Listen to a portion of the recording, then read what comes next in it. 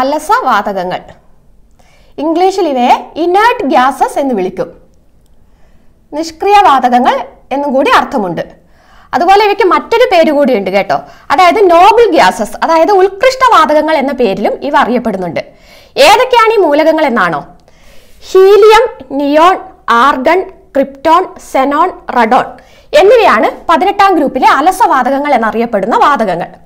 ഇതിൽ ഹീലിയത്തിന്റെ പ്രതീകം എന്ന് പറയുന്നത് എച്ച് ആണ്. അതിന്റെ അറ്റോമിക നമ്പർ രണ്ടാണ്. ഹീലിയം എന്ന വാതകവും ഒരു സമ്പൂർണ സൂര്യഗ്രഹണവും തമ്മിൽ ബന്ധമുണ്ടെന്നറിയാമോ യഥാർത്ഥത്തിൽ ആയിരത്തി എണ്ണൂറ്റി അറുപത്തി എട്ടിലെ ഒരു സമ്പൂർണ സൂര്യഗ്രഹണമാണ് ഹീലിയം എന്ന മൂലകത്തിന്റെ കണ്ടുപിടുത്തത്തിലേക്ക് നയിച്ചത്. ആ സൂര്യഗ്രഹണം നിരീക്ഷിച്ച ബ്രിട്ടീഷ് ജ്യോതിശാസ്ത്രജ്ഞനായ ലോക്കിയറും അതുപോലെ ഫ്രഞ്ച് ജ്യോതിശാസ്ത്രജ്ഞനായ ജാൻസണും സൂര്യന്റെ കൊറോണയിൽ നിന്നുള്ള കൊറോണ എന്ന് പറ കൊറോണ എന്ന് പറയുന്നത് സൂര്യന്റെ ബാഹ്യ അന്തരീക്ഷമാണെന്ന് അറിയാമല്ലോ.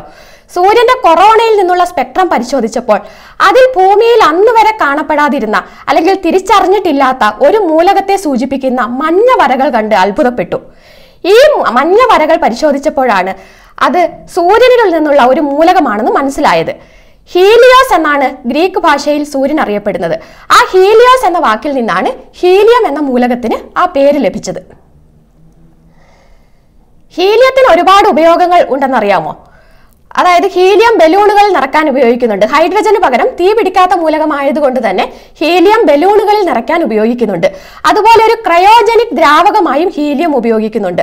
നാല് പോയിന്റ് ഒന്ന് കെൽവിൻ താപനില വരെ ഹീലിയം വാതകത്തെ തണുപ്പിച്ചു കഴിഞ്ഞാൽ അത് അതിദ്രവത്വം അഥവാ സൂപ്പർ ഫ്ലൂയിഡിറ്റി എന്ന പ്രതിഭാസം കാണിക്കും.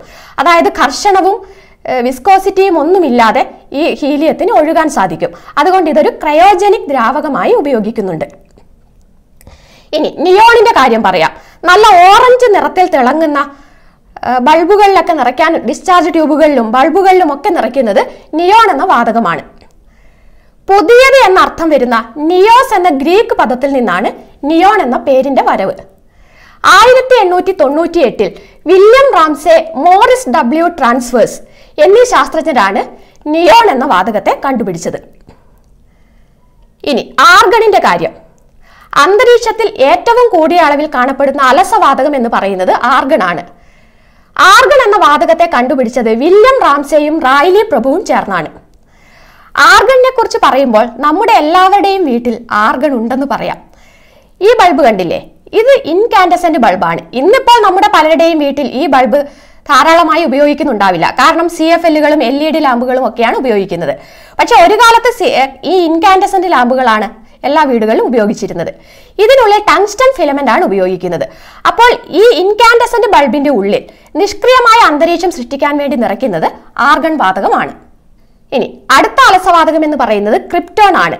ഒളിച്ചിരിക്കുന്നവൻ എന്നർത്ഥം വരുന്ന ക്രിപ്റ്റോസ് എന്ന ഗ്രീക്ക് പദത്തിൽ നിന്നാണ് ക്രിപ്റ്റോൺ എന്ന പേരിന്റെ വരവ്. ഈ ക്രിപ്റ്റോൺ എന്ന വാതകത്തെ ആദ്യമായി തിരിച്ചറിഞ്ഞതും William Ramsay Morris W Travers എന്നീ ശാസ്ത്രജ്ഞരാണ്.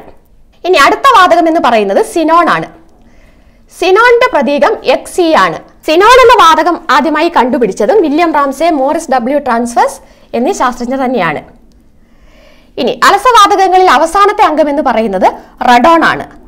റഡോണിന് റേഡിയം എന്ന റേഡിയോ ആക്റ്റീവ് മൂലകവുമായി ഒരു ബന്ധമുണ്ട്. റേഡിയത്തിന്റെ ശോഷണത്തിലൂടെയാണ് റഡോൺ എന്ന വാതകം രൂപം കൊള്ളുന്നത്. റേഡിയം എന്ന വാക്കിൽ നിന്ന് തന്നെയാണ് റഡോൺ എന്ന പേരിന്റെ വരവും. വില്യം റാംസെയും റോബർട്ട് വിറ്റലോഗ്രേയുമാണ് ആദ്യമായി റഡോൺ എന്ന വാതകത്തെ വേർതിരിച്ചെടുത്തത്. എന്നാൽ എഫ് ഡോൺ എന്ന ശാസ്ത്രജ്ഞനാണ് റഡോൺ എന്ന മൂലകത്തെ ആദ്യമായി തിരിച്ചറിഞ്ഞത്. ഇനി ഈ അലസവാതകങ്ങൾ പൊതുവെ രാസപ്രവർത്തനങ്ങളിൽ ഏർപ്പെടാൻ മടി കാണിക്കുന്നുണ്ട്. അതുകൊണ്ടാണ് ഇവയെ നിഷ്ക്രിയ മൂലകങ്ങൾ അല്ലെങ്കിൽ നിഷ്ക്രിയ വാതകങ്ങൾ എന്നും അലസവാതകങ്ങൾ എന്നും ഒക്കെ വിളിക്കുന്നത്.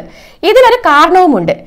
ഇവയുടെ സബ്ഷെല്ലുകളെല്ലാം പൂർണമായി നിറഞ്ഞതാണ്. അതായത് അഷ്ടകം പൂർത്തിയായതാണ് എന്ന് പറയാം. അതുകൊണ്ട് തന്നെ ഇവയ്ക്ക് രാസപ്രവർത്തനങ്ങളിൽ ഇലക്ട്രോണുകൾ ദാനം ചെയ്യേണ്ട ആവശ്യമോ ഇങ്ങോട്ട് സ്വീകരിക്കേണ്ട ആവശ്യമോ ഇല്ല. അതുകൊണ്ട് തന്നെ ഇവ പൊതുവെ സാധാരണ അവസ്ഥയിൽ രാസപ്രവർത്തനങ്ങളിൽ ഏർപ്പെടാൻ വിമുഖത കാണിക്കുന്നവയാണ്. സയൻസ് ചാറ്റിൽ കൂടുതൽ വിശേഷങ്ങളുമായി ഇനിയും എത്താം.